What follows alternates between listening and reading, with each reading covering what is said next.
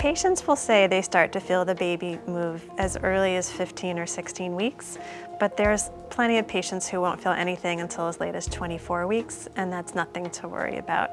Initially, those fetal movements, if you feel a couple kicks a day, I'm happy. There won't be such a regular pattern right away, but once you do start to feel that pattern, then you should be aware of that pattern and hope there's reproducibility from one day to the next.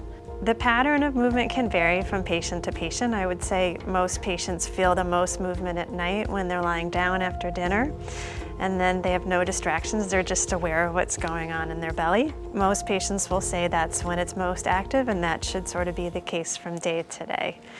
As you get closer to your due date, there really should be more of a reproducible pattern during the day as well. Babies can go through sleep cycles, and so you may not feel any movement for two hours, let's say, but if you're going past two to three hours and you haven't felt any movement, it is important to check in and make sure you do feel movement. Stopping what you're doing, having something to eat or drink, lying down and paying attention is really important to reassure yourself and us that the baby's moving normally.